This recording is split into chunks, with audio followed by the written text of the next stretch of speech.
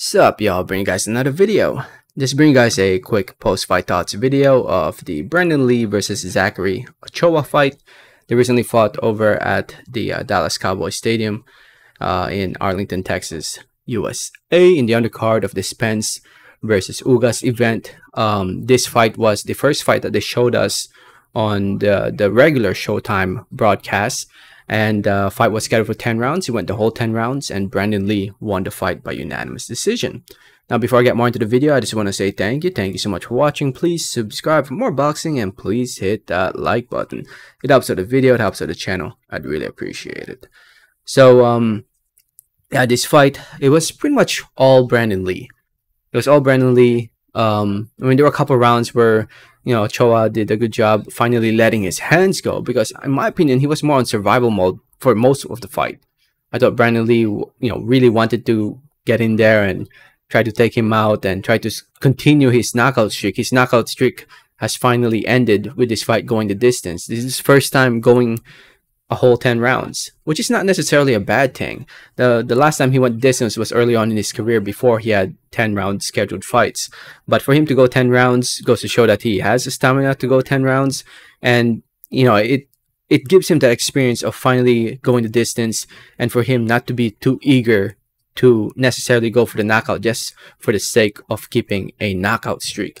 So in my opinion, I think this does Brandun Lee a favor, just in case he steps in there against a bigger name, bigger fighter, bigger puncher. Because the, then, you know, Brandun Lee would be more, you know, focused on winning instead of going for a knockout. Uh, and I just had it 98 92, 99 91, 99 91, all in favor of uh, Brandun Lee.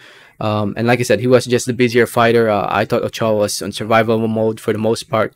Uh, two judges gave one round to Ochoa and one judge gave two rounds to Ochoa. I, I can see that.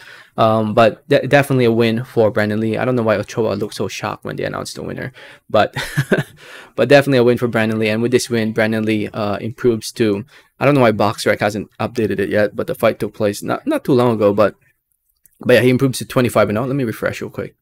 Oh, finally, they updated it. Now he improves to 25 and 0, 22 wins coming by way of knockout TKO, and um, you know he, he remains undefeated. And he's you know he's he's a top fighter. He's a top fighter in the 140 pound division. If you look at 140 pounds, he's considered number nine by the IBF, and you know it, it's definitely going into this fight. This fight was kind of announced last minute. Um, but I, I would love to see him finally fight somebody among the top 15 and uh, and it's up to his promoters and management to do that for him. And I hope Brandun Lee demands that. Tell his promoters, tell his manager that hey, it's time for me to fight a big name. I'm, you know, that it's time for him to prove himself, not just to the fans, but to himself as a fighter, to show that he, you know, he is ready to step in there against a world champion. And in order for you to step in there against a world champion, let's say the likes of I don't know. Josh Taylor is planning to move up, so we don't know who the champion will be in the next couple years or so. Uh, but it would be nice to see Brandun Lee fight a top guy so that he can put himself in a position to fight for that world title in the next couple years or in the next year. And he can do that. Brandun Lee is ready for those fights, at least in my opinion.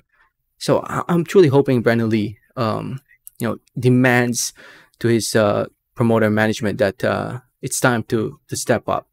Um, as for Zachary Ochoa, second loss in his pro career. Um, no, actually, third loss. I have to refresh it. Third loss in his pro career. Um, losing two fights in a row now. Uh, hasn't really been that active over the past few years. Um, you know, can come back. He's only 29 years old. I just feel like, you know, next time he should let his hands go more instead of moving around too much. I felt like in this fight, he was just moving way, way too much.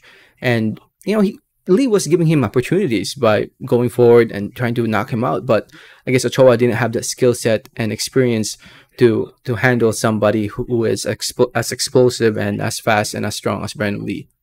Uh, but Ochoa can come back. I mean, I think Ochoa is actually a good test for any up and coming uh, prospect at 140 pounds. So, anyway, um, if you saw the fight, let me know what did you think about it in the comments. Thanks for listening. Thanks for watching, and like always, have a great day. All right, thanks.